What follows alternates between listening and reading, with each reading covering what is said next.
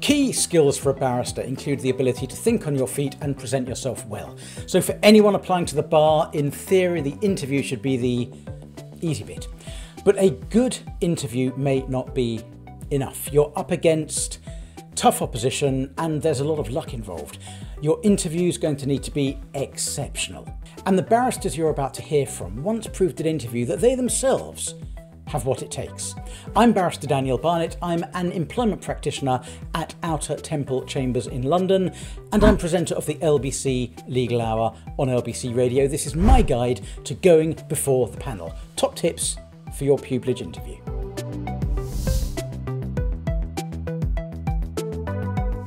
The sort of ability to stand in front of a judge um, starts with the ability to stand in front of a pupillage interview panel. Um, and that's what really I start to pick up is if someone is really nervous, I don't think they do as well in the interview itself. So my top tip is sit down with yourself, realize your worth, and then walk into the interview.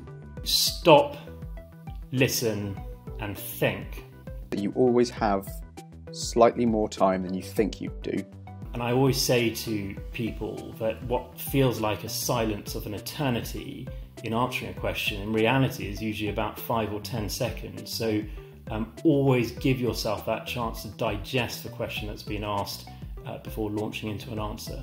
Because if you take 20, 30, 40 seconds before you answer, and then you answer really well, that delay and then that good answer makes you look better, not worse.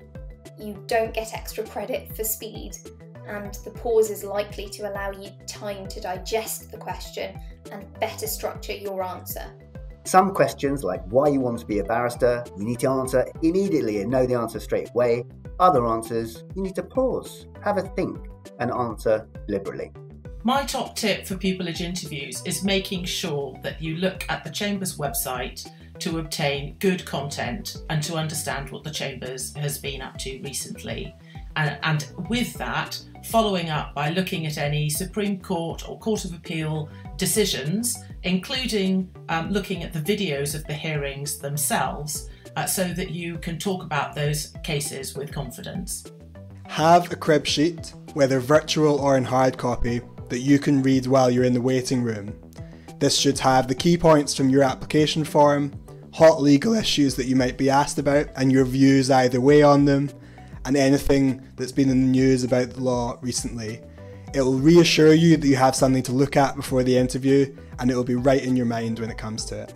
What are the panel looking for? They're not looking for sensible, safe answers to questions of the day. If they ask you, when I was applying, it was always about jury trials in fraud cases and should we have them.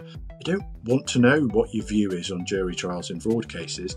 They want you to advocate for a particular position and then defend it under pressure. You just have to be yourself ultimately. I suspect that I did not get as many offers as I might have done because I was trying to look and sound like a barrister. And I would say, although you need to try and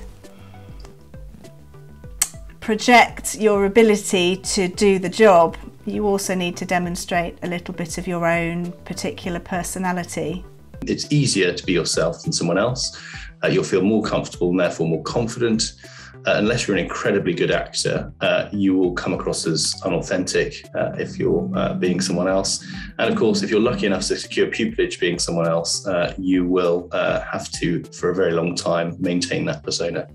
Show people that there's a side to you beyond the undoubtedly good academics, um, the voluntary work, the, the moots, and all that. So show show that there is something behind that, a, a, personal interest, a hobby, something along those lines. Because when you're sat for hours on trains going to and fro with members of chambers or your pupil supervisor, you need something to talk about. Make sure you know your stuff. So make sure you've done your research about the chambers and know what it is about them that means you really want to join them and why they're right for you do try and sell yourself. You are there to be your number one fan. Um, don't be embarrassed about bigging yourself up.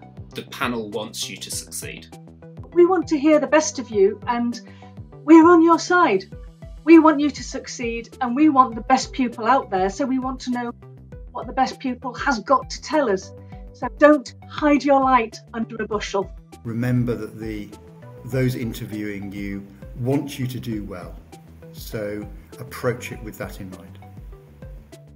Some reassuring thoughts there. We want you to do well. Although, of course, even when you get an interview, it's yours to lose. So don't rush, be prepared, and be yourself. The only thing for me to add is good luck. Now, I've made three other videos in this series which you might want to look at top tips for getting a pupillage, application pet hates, and the things pupil barristers wish they'd done differently. I'm Barrister Daniel Barnett. Thank you to my colleagues and peers for their interview insights, and thank you to you for watching. Bye bye.